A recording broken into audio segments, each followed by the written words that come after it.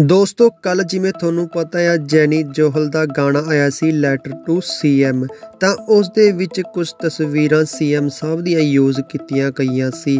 ਤੇ ਇਸ ਦੇ ਬਾਰੇ ਇੱਕ ਇੰਟਰਵਿਊ ਦੇ ਦੌਰਾਨ ਸੋਨੀਆ ਮਾਨ ਕਹਿੰਦੀ ਵੀ ਤਸਵੀਰਾਂ ਨਹੀਂ ਯੂਜ਼ ਕਰਨੀਆਂ ਚਾਹੀਦੀਆਂ ਸੀ ਉਹਨਾਂ ਦੀਆਂ ਪਰਸਨਲ ਮੈਰਿਜ ਦੀਆਂ। ਗੀਤ ਜਿਹੜਾ ਕੱਢਣਾ ਉਹਦੇ ਵਿੱਚ ਉਹਨਾਂ ਦੀਆਂ ਪਰਸਨਲ ਫੋਟੋਗ੍ਰਾਫਸ ਨਹੀਂ ਯੂਜ਼ ਕਰਨੀਆਂ ਚਾਹੀਦੀਆਂ ਮਤਲਬ ਵਿਆਹ ਦੀਆਂ ਫੋਟੋਆਂ ਹੋ ਗਈਆਂ ਇਹ ਇੱਕ ਬਹੁਤ ਹੱਦ ਤੱਕ ਪਰਸਨਲ ਚੀਜ਼ ਹੋ ਜਾਂਦੀ ਹੈ ਜਿੱਥੇ ਤੇ ਇਸ ਤੋਂ ਬਾਅਦ ਬਾਅਦ ਸਿੱਧੂ ਮੂਸੇਵਾਲੇ ਦੇ ਸਾਰੇ ਫੈਨ ਪੇਜ ਜੈਨੀ ਜੋਹਲ ਦੀ ਸਪੋਰਟ ਦੇ ਵਿੱਚ ਆ ਗਏ। ਜੀ ਹਾਂ ਦੋਸਤੋ, ਜੈਨੀ ਜੋਹਲ ਨੇ ਹੱਕ ਸੱਚ ਦੀ ਗੱਲ ਕੀਤੀ ਆ ਤੇ ਪੂਰੀ ਖਰੀ ਗੱਲ ਕੀਤੀ ਆ ਬੇਬਾਗ ਤਰੀਕੇ ਨਾਲ। ਤਾਂ ਜੈਨੀ ਜੋਹਲ ਦੀ ਸਪੋਰਟ ਕਰਨਾ ਤਾਂ ਬਣਦਾ ਆ ਦੋਸਤੋ। ਜਸਟਿਸ ਦੀ ਮੰਗ ਕੀਤੀ ਆ ਜੈਨੀ ਜੋਹਲ ਨੇ। ਸਾਰੇ ਸਿੱਧੂ ਮੂਸੇਵਾਲੇ ਦੇ ਫੈਨ ਪੇਜ ਜੈਨੀ ਜੋਹਲ ਦੇ ਨਾਲ ਨੇ ਤੇ ਨਾਲ ਰਹਾਂਗੇ ਕਿਉਂਕਿ ਗਟਸ ਨੇ ਉਹਦੇ ਵਿੱਚ ਸੱਚ ਬੋਲਣ ਦੇ। ਧੰਨਵਾਦ।